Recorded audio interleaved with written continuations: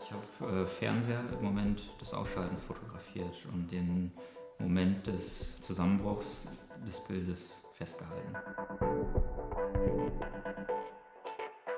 Also es ist mir noch nie ähm, untergekommen, dass jemand geschafft hat, wirklich zu ähm, erraten, was es ist. Deswegen sind die Reaktionen, wenn ich das dann auflöse, was es ist, ist immer so ein Aha dann. Ne? So, ah ja, okay, stimmt ja, habe ich ja schon mal gesehen.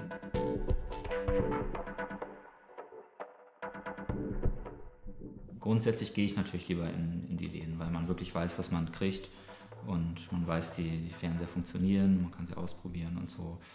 Wobei ich auch gerne die Momente habe, wo ich dann zu jemandem hinfahre, der einen Fernseher privat verkauft, weil das sind auch immer lustige Geschichten. Ne? Also man geht ja zu den Leuten nach Hause und guckt da irgendwie Fernseher an, macht den da vielleicht auch noch mal ein paar Mal an und aus und sagt, ja, den nehme ich mit.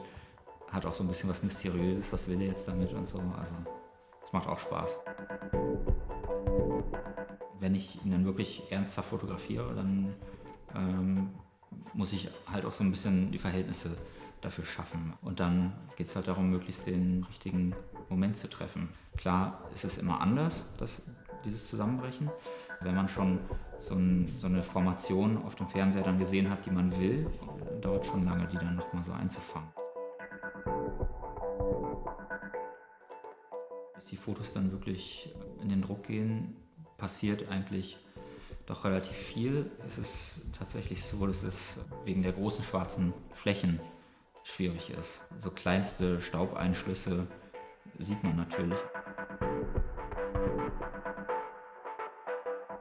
Ja, diesen Weg so, so von, der, von der Idee bis zu dem Moment, wo man dann einen Preis kriegt und die, und die Bilder an die Wand hängt und äh, man kriegt so den, den Applaus dafür, das hat ähm, dann auch nochmal diese, also diesen ganzen Aufwand und diese ganze Beklopptheit dann so gerechtfertigt. Ne? Also ich würde sagen, mein, mein ganzes Selbstbewusstsein so als, als Fotograf oder als, als, als Künstler ziehe ich natürlich auch ganz extrem aus dieser Zeit. Ne?